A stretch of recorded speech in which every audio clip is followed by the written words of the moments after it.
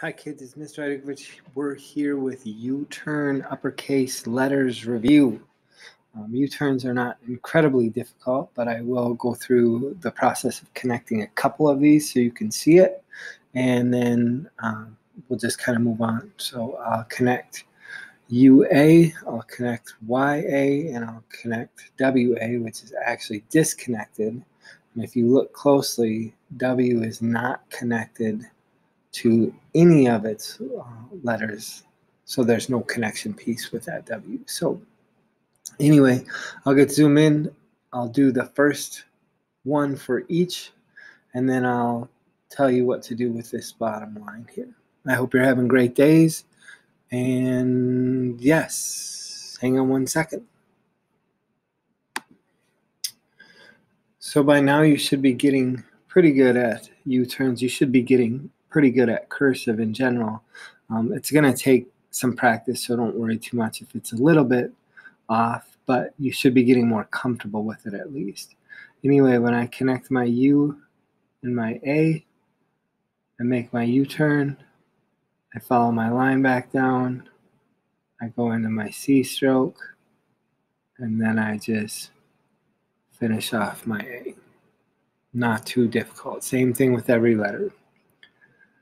Down in the next column, the Y flows into the next letter with an up the step connector, and I guess that's what this one was too, an up the step connector into a C stroke. And so we'll just make our U-turn. And instead of going down and stopping, we'll go all the way down and then up into our letter A using that C stroke. So moving on down to the W. The letter W ends on the top line, so the lowercase letters begin close by and are not connected. Okay, so with W's, you don't connect. So I'll just make my U-turn. I'll make my U-turn again. And then I just make my eight. And there it is. So down on this bottom line here, all I want you to do is write your name in cursive. So just do your best to write your name in cursive. You should have enough knowledge to be able to complete it. If you get stuck, that's okay. But all I want you to do is write your name in cursive. So if I were going to write Nicholas, I would See, there's a couple different ways I could do it, but I think in this style of cursive, I, I would just make my N, I, C, H,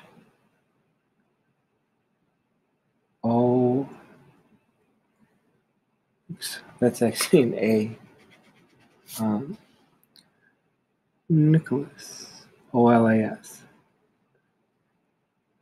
And then I'm going to pause it to write Hydukovich because that could take us a while. Um, but then you'll just do your first and last name. If you want to do your middle name too, that's fine. So I'll pause it, write Hydukovich, and we'll be all set. And kids, you can see just by my writing, I don't usually practice it this way. Um, again, I usually write my signature if I'm going to write my name in cursive, and my signature actually, if you remember, looks like this and it takes a lot less time to actually write my name with my signature than I would to write it in cursive. I think that's why most people use it this way. So, anyways, I hope you have great days. Um, I'm glad to be back. I'm excited to see you in six days. I was actually wrong about that because you have next Friday off. But I will see you at morning meeting at nine o'clock. Have great days, kids. Thanks. Bye.